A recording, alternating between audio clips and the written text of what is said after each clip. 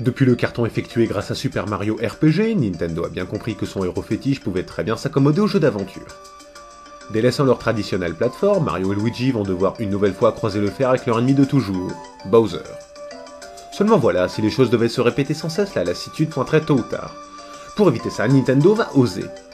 D'abord, et même si Bowser mène encore la vie dure au de plombier, un nouvel ennemi fait son apparition. C'est une race de champignons extraterrestres. Elle n'est pas bien méchante, mais cause suffisamment de malheur à l'entourage des héros pour qu'on envie de lui coller une trempe. Ensuite, le jeu se déroule en parallèle sur deux époques. Le scénario est relativement convenu, mais l'histoire va bien vite amener les héros du présent à rencontrer les héros du passé. Ceci sera l'occasion de savourer des tas de scènes très marrantes.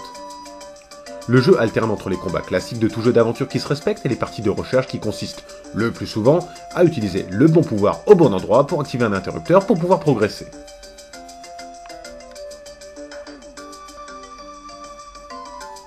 Dans le domaine du classique, il y a les objets qui augmentent les capacités des personnages, il y a les équipements qui rendent plus forts et il y a les combats contre les boss. Dans le plus original, on note que chaque bouton d'action est attribué à un personnage. Ça perturbe un peu au début et puis à force on s'y fait et on en profite pleinement grâce à des techniques intelligentes qui reposent justement sur la combinaison des actions de plusieurs personnages en même temps. L'univers de la série Mario est très bien retranscrit dans ce jeu. On retrouve beaucoup d'ennemis connus, beaucoup d'alliés connus, quelques mondes un peu déroutants mais toujours graphiquement très réussis.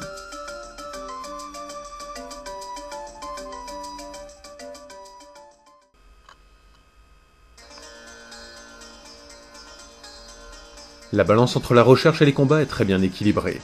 Les neurones sont mis à rude épreuve par moment, mais les énigmes restent réalisables avec un minimum de jugeote. Avec le grand choix d'action offert aux joueurs, les combats se ressemblent rarement. On peut riposter, contrer, utiliser des tas d'objets et tout ça de façon très simple. La jouabilité facilite grandement le boulot durant ces phases. Même si on peut préférer les jeux classiques avec Mario, celui-ci reste intéressant. Il y a un peu de plateforme, beaucoup d'exploration, mais aussi de l'humour très présent, des capacités à apprendre, des objets à récupérer et des hordes d'ennemis à bousiller grâce à tout ça. Bon.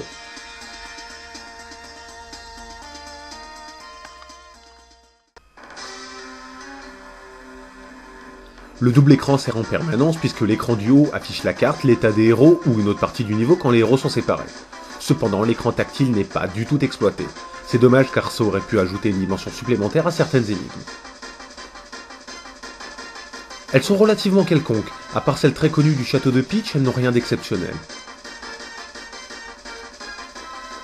Les combats contre les gros méchants de fin de zone sont très longs et parfois même carrément lassants. Une fois qu'on a trouvé la technique, ce n'est plus qu'une formalité et on peut arriver à les vaincre sans se faire toucher. La plante piranha, par exemple, est d'une facilité déconcertante et il s'agit pourtant d'un boss très avancé dans le jeu.